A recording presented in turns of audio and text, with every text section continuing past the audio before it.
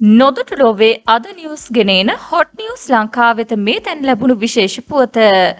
පොදු ස්ථාන වෙත ඇතුළු වීමට එන්නොත් කරන කාඩ්පත අනිවාර්ය කිරීම සඳහා වන තාක්ෂණික කටයුතු මේ වන විට සිදු කෙරමින් පවතින බව සෞඛ්‍ය අමාත්‍ය කෙහෙලිය රමුක්වැල්ල මහතා පවසායේ. මේ අතර ඉදිරි සති කිහිපයේදී රට තුළ ඔමික්‍රෝන් සීග්‍ර ලෙස ව්‍යාප්ත වීමේ අවදානමක් පවතින බවටයි සෞඛ්‍ය අංශ අනතුරු අඟවා ඇත්තේ. තවත් කොරෝනා ආසාධිතයන් හයසී විසි නම දෙනෙකු ඊයේ වාර්තාවීමත් සමඟ මෙරට සමස්ත ආසාධිතයන් සංඛ්‍යාව පන්ලක්ෂ අසූ අට දහස් නමසේ විසි නමයක් දක්වා ඉහළ ගොස් තිබේ. ඒ අනුව මෙරට සක්‍රිය ආසාධිතයන් සංඛ්‍යාව දොළොස් දහස් හයසිය තුනක්. නව මරණ දහ අටක් සමඟ මෙරට සමස්ත මරණ සංඛ්‍යාව දැක්වුණේ පහළොස් දහස් පනස් පහක් ලෙසයි.